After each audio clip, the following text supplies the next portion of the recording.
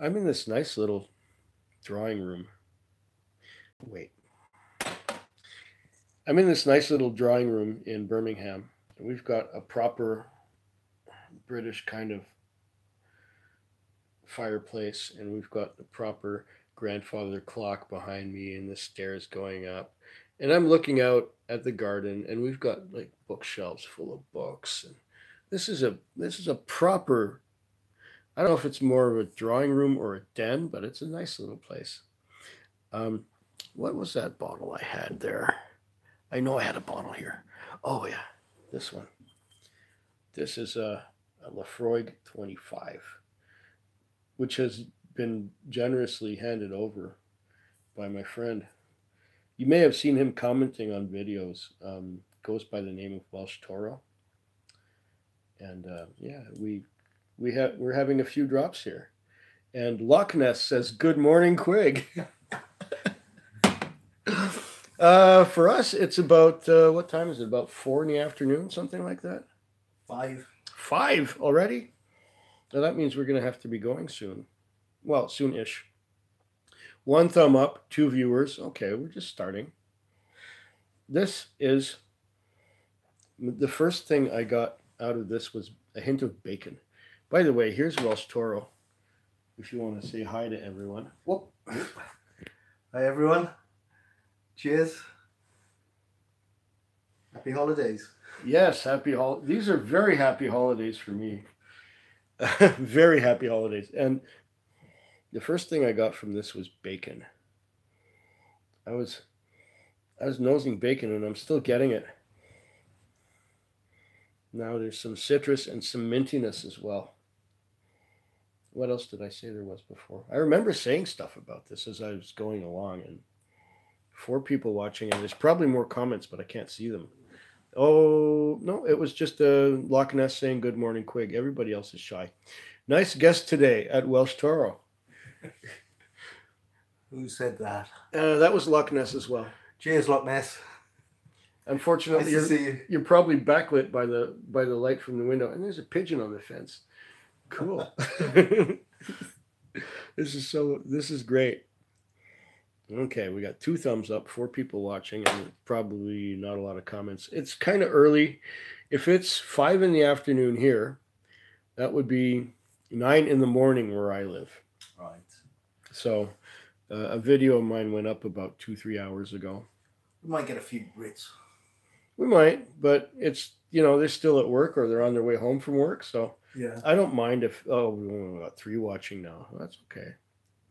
If you go at night like we did last night uh, in Manchester, then then you get. Yeah. I think that thing has 400 views already. It's insane.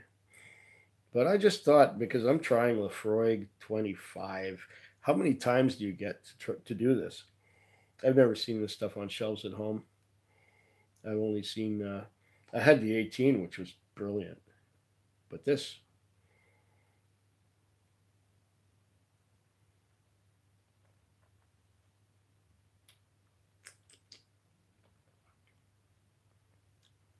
Oh. There's some sherry cask in there, correct? Yeah. A bit of Oloroso, but it's so. You know, I wasn't getting much of the smoke on the nose. Not much at all. I was just getting this bacon, which I think comes from the sherry. And I was just getting this bacon and some fruitiness and, and some some of that typical uh, citrus, you know, oranges and lemons kind of thing. But now on the finish, that's where the peat comes out. Right on the finish, and it it's hanging on. It's it's subtle to begin with. It's not going to bash you in the face like a Laphroaig 10, but it's soft, and then it comes out and asserts itself after everything has moved out of the way. I'm liking this a lot. Well, thanks for sharing this with me. I. I do appreciate it. I think I'm getting um a slightly, a little bit of uh, lightly cured ham, perhaps more than bacon, and maybe a teeny bit of red apple in there. Okay.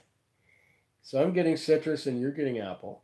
little, li- only a little, a little bit of red apple, Mm. um, And and maybe not so much bacon, but cured ham.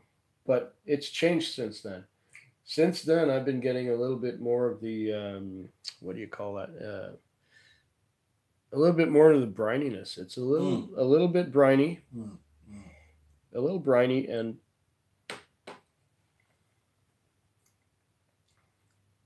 oh On the finish as well is is a little bit of salt. yes, salt. Salt the salt and the peat comes in on the finish. Mm. Very good. More so than with the 18. The 18 is a little more understated than this. Yeah, yeah. And I think that the little bit of Oloroso is helping that brine to show itself. Yeah, yeah. Definitely good stuff. I don't think anybody can see me. I'm Yeah, no, you're backlit. you're you're backlit like crazy. But I got the, the light shining right on me. Let's see if there's any more comments. Uh no, no more comments. We've only got two five people watching, two thumbs up still.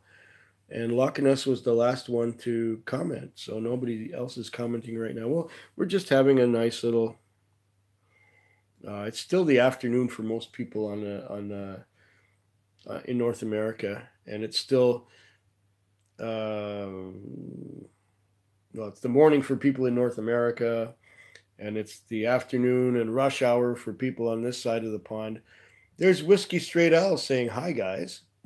Hi, Whiskey Straight Al. Slunchava. Uh, what else have we got with this? Uh, this is most enjoyable.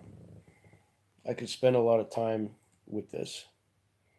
Last night we had, oh, last night was insane. Went out with, um, oh, there's whiskey. Oh, now they're coming in. Whiskey Pilgrim says, hope you're enjoying your, oh, yeah. Rabbit in Red says, Quig. Rabbit. Um, eight people watching now. They found Cool. us. They found our stream. Uh, Hoagie. Hoagie's on here too. Fantastic. Hey, Quig, McQuig, how uh, the journey is amazing, Hoagie. Just amazing. And Loch Ness is saying hey to Rabbit. Uh, yeah, hey, Rabbit. Hey, Loch Ness.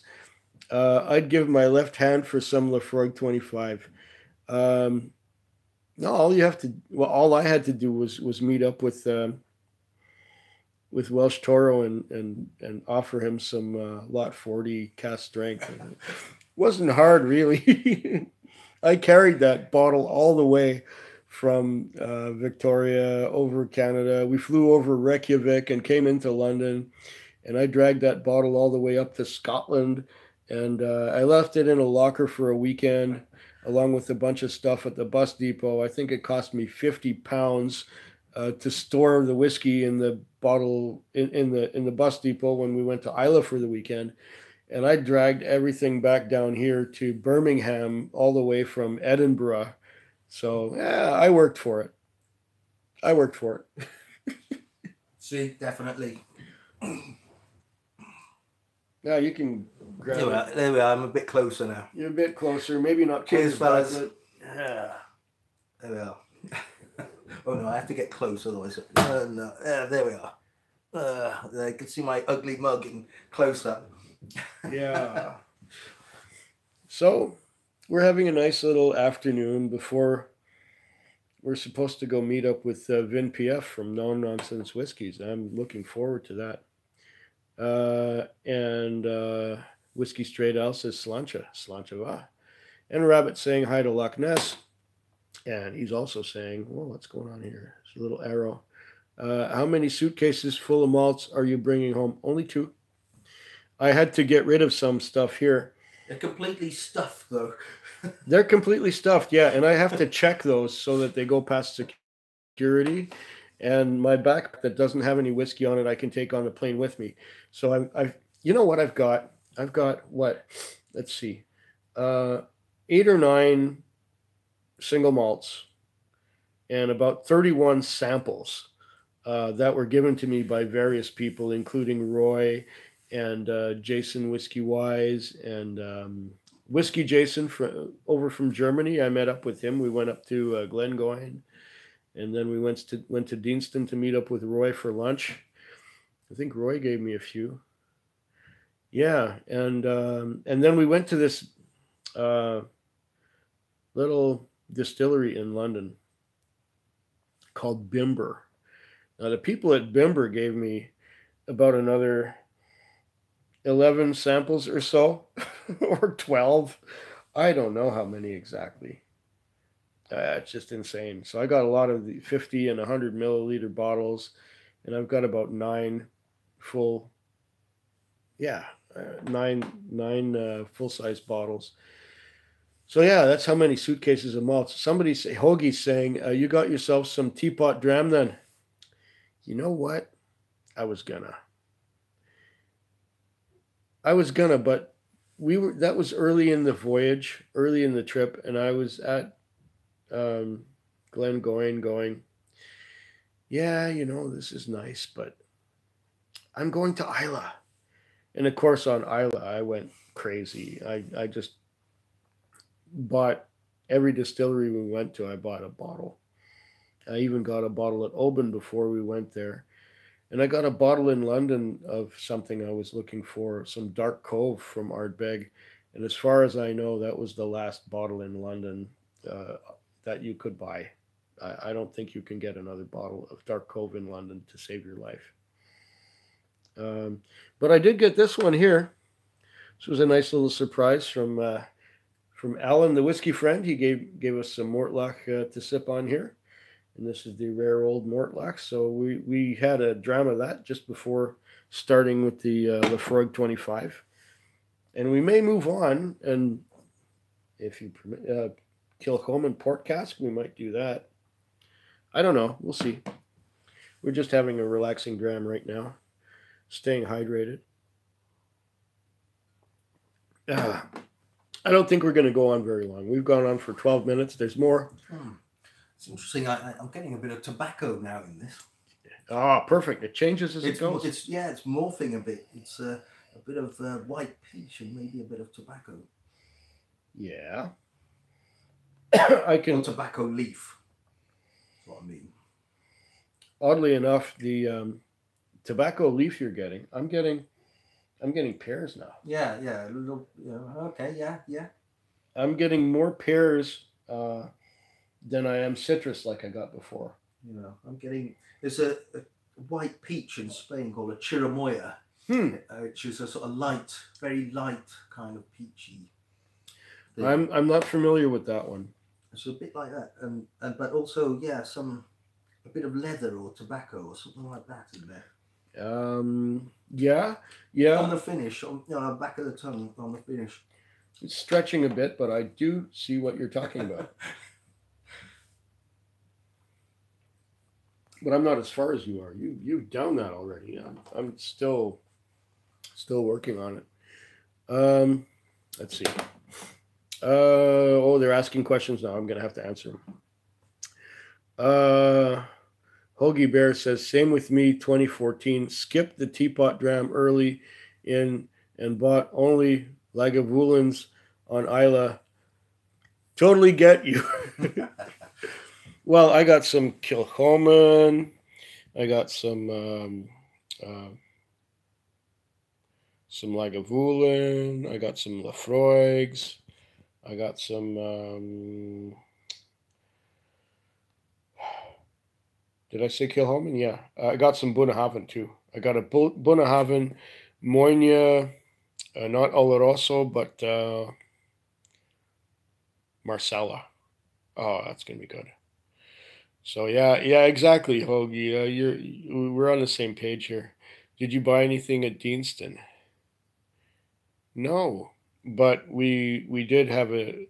I got videos coming up from that Deanston visit. It's wild, and uh, Roy Roy did some shooting uh, video as well, and we were in the um, we were in the warehouse, and we were um, getting uh, whiskey like straight from the barrel and or straight from the cask and drinking it. Looks like it's been an amazing trip, Quig. Uh, enjoy every minute of it. And that was Rabbit in the Red saying that. Yes, uh, it was a great trip. I try to get in one trip of a lifetime every decade, And so far, I've been making it once every two decades. So, first trip of a lifetime was Germany and Austria in 1979. In two, 1997, my dad and I did a road trip of uh, the Yukon, Alaska, Northwest Territories. Three week road trip, camping all the way. It was amazing.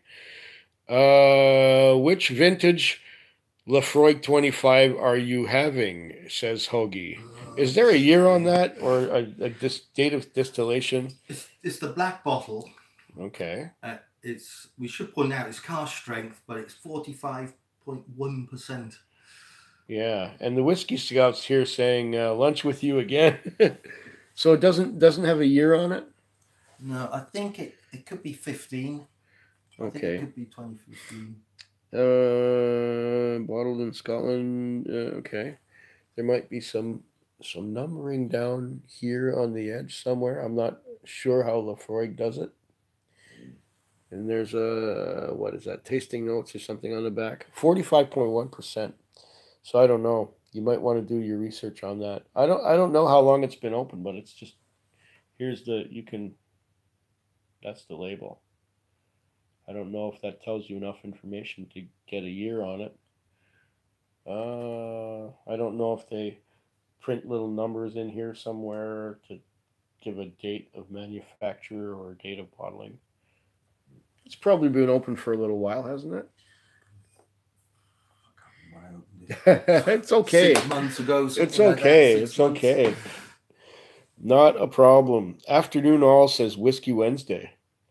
Great. Good to have you with us, Phil. Good to have you with us, Phil. Um, oh, wait. I think he's got an answer for us here. Um, oh. Hoagie says it's the 2014 vintage. Yeah, that could be it. Yeah. The man is the expert. He knows what he's talking about. I can't get bottles like this where I come from, so I don't get to know anything about it. Or 2013 for that matter. Yeah, could, yeah, could be. Could be. Yeah. Have you had it for a long time before you opened it? I did. Okay. Came, came in a big wooden box. Came in a nice wooden box. I got two of them. I got them from Spain. Oh, okay. Um, and they were they were they were they were a good price, so I bought two of them. they were they were much much cheaper, half at least half the price of what I could buy for them, pay for them here. Back then, that was. Back then, um, and probably still now. Yeah. Uh, It was a it was a question of buy now or never really. There, they were still at the upper end of what I spend on whiskey, but Mhm. um, I mean these things cost four hundred pounds now. I would never, I would never buy that. um, 800 bucks. Uh, it was it was much less than that. Eight hundred dollars Canadian. Goodness. And so, uh, is it true that they just they just suck suck down the Cardhu like crazy down there in Spain? They they love Cardhu, Cardhu twelve. That's where it all goes. That's it. It's yeah. Diageo's best-selling dram, and I can tell you it's because it goes in lots of blends, and tons of it goes to Spain. That's their chosen uh, malt of choice. there you go. so it just goes to show how interesting how it works in the world, Yeah. how uh, how single malt sales work in the world. Yeah, and and Cardhu, I can get Cardhu no problem where I live. yeah, yeah, yeah. You can buy it. I mean, it tastes like a blend almost. The, the twelve. Um, you know. Well, what about that scandal back then when they it was a uh, pure malt? Yeah, yes, yeah, yeah. I can't, I'm trying to remember what that was now, but they, yeah, they were involved in that, weren't they? I think they were using a whiskey from um, from uh, was it? I'm trying to remember the. Uh, it's one of my favorite distilleries. When I whenever I can get something from them, it's just like magic. Um, Oh, uh, got some comments coming in. Oh, some more. let's see. Uh, both 45.1. Okay, so that would be the 2014 and the 2013 editions. Hoagie says, Does the black label have a golden frame? Yes. Yes, it does. It's got a golden frame right around it. Uh, show you. See that? There's a golden frame there. Yes. Ah, he's he's done his research. This guy. Uh, and whiskey throttle says, "Close the curtain so we can see your guest." uh, he's. You won't be able to see me then. Uh, We'll leave a little bit okay, then it's the 2014. The 2014 says Hoagie. Okay. Okay. Uh, can we see him? sort of. are. That's a bit better. A little better, yeah. Still a bit backlit, but it's working. Uh, there we go. Cheers, everyone. Well, it, it's it, the question is who's who's guest. I'm his guest. Uh, I'm your guest. Uh, and and Well, fri friends and guests. You know, yeah, it's- it's and you're you're my guest on the channel, but Oh, I'm yeah, your I'm your guest in the house. So yeah, I guess that makes us even. yeah. yeah. I was I was in the middle of Something about the card. and- oh Cardhu, yeah. Hmm. Where oh a lovely drop That's says my phone. I'll just go. go for it. A lovely drop says Gareth Simpson. Yes, it is. And Whiskey Throttle says, Where are the hot UK chicks? Oh, I might have shot some video which might have some hot UK chicks in it. Uh, well, while she's uh, up there, he's uh, he's on the phone. So, UK hot chicks. Um, I see a lot of them as I go around uh, in the uh, in the uh, airport, well, airports and uh, train stations, and it's fun to people watch here because people are so different from at home. Uh, and uh, there are some beautiful women, yes, and there are some that have no taste at all. They are they're overdone. Um, just it's it's it's different different world from what I am what I'm used to. So uh, I'm sure that there are some hot chicks that will show up in the videos that I will put together from all the uh, video clips that I shot. Um, and Whiskey Throttle says those are the ones that like me. Oh, the ones that are over the top. the ones that are over the top, the ones that are overdone they wear a lot of some of them wear a lot of makeup and well i guess that's the same everywhere but i think in alberta the, the, the girls are more wholesome. Here they're just kind of a lot of fake. In glasgow rather young girls looked more like harlots on the street crazy hot pants and yes and high heels yes yes. And uh, some of them had uh, had their their heads shaved and their heads tattooed and you know little spikes of hair coming out and uh, I guess the, the fashion is, is rather different. Uh, yeah, Glasgow was interesting because there were a lot of tourists and some of the girls were yeah over the top as well. Yeah, whatever. And uh, Whiskey Throttle saying to Hoagie, uh, "Those are the ones that watch too much TV." the ones with the crazy hot pants, yeah. there you go. Yeah.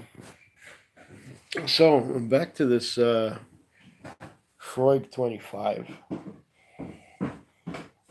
Beautiful stuff.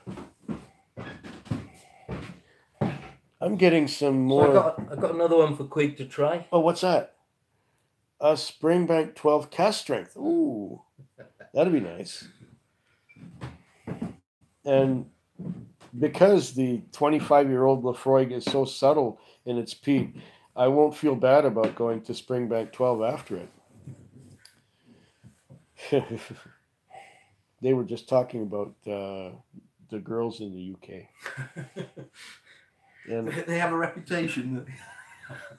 among some of these guys, they do, yeah, you know. Hoagie says one thing and Whiskey Throttle says another thing. Daniel says another thing. And I'm I'm still trying to make up my mind. Uh, some of them are, are, are, are nice girls, and, and some of them are just over the top in the in the fashion. Um, and some are some of them are just pleasantly plump, you know, yeah. Yeah. Yes. Yeah. more so than where I live. Yeah. People are getting plumper. They are, so it's a bit like the U.S. yeah, yeah. Well, everywhere. Really. Hmm. But Britain's a much more liberal country than a lot of people think. Uh, yeah they have this uh, the uk has this image of um, it has an image that sort of how can i put it i think you put it better than i could yeah, yeah, yeah, yeah, yeah. I mean, it is, it is, it is it's quite a liberal country, and I think a lot more than people think until they visit it. Uh-huh. Uh, I think people think that Brits are a lot of you know can be a bit stiff, and uh, Stiff actually everything everything goes here really. a little bit stuffy, maybe. Yeah, yeah. Yeah, okay. Um, that's the reputation, yeah. but that's not the reality. No, um, well, I mean, you know, it's mixed like everywhere. you Yes. know. some people are going to be like that, but generally, it's not. It's very, you know, easygoing place generally. Mhm. Um, you know, it's got a lot of history, and uh, you know, I think in Britain things, everything goes. Yeah, and I found that there are more extremes. You know, like where I live, everyone dresses about the same. They all have a baseball cap, which look terrible on me, so I don't wear baseball caps ever. And they they have the same clothes. Everybody wears the same clothes. But around in in in the UK, I found that there are incredible varieties of styles of clothing that people wear, and they seem to be a lot more conscious about that than we are in North America. I think they're also more uh, conscious of brands, um, which which I noticed from con- continental Europe as well. I got some uh, relatives in Austria who, came to Canada and they were shocked that I wasn't wearing Pierre Cardin and this and Christian Dior that, and uh, you know they they were shocked. They were shocked that I was wearing stuff from Kmart, you know, and and and and, and they, they couldn't believe it maybe that's that's part of maybe it's worse maybe it's more like that on the continent than here on in britain i don't know i'm not an Don't me. I, I'm a fashion. Uh, I'm, I'm hopeless with it. i'm an i'm a non-expert on fashion as well i i don't know anything about it whoa we've got some more comments uh ah here we go Hey there, Quig says Rot Gut Review. We got Rot Gut Review all the way from Wisconsin. And Daniel saying, Food Quig, meet girls in libraries. Oh, so that's your trick, is it? Uh, better not tell your girlfriend that. And Whiskey Scout says to Whiskey Throttle, that would be the crazy ones. hey, Dan. Springbank is a gem, one of my faves, says Garrett Simpson. And Throttle says the Whiskey Scout, crazy. And Whiskey Friend, oh, there's Alan saying, hey, Quig. Hey, Alan. Slunch of, uh, it was a great night we had last night. Uh, I enjoyed that, like to, to the to the hilt. It was great, and we're we're going again. Mm. That was a fantastic night. I I learned a lot. Never go to that bar on Tuesday. um, take a book to the library with the bottle hidden in it and share with a cute girl. Cute girls that read. Hey, whiskey friend deleted, retracted a message. Okay. Uh, Hoagie says if you are not done shopping yet, try to get yourself a Highgrove too. What is that? What's a Highgrove? Ulican says, "Quig, meet girls at the co-op."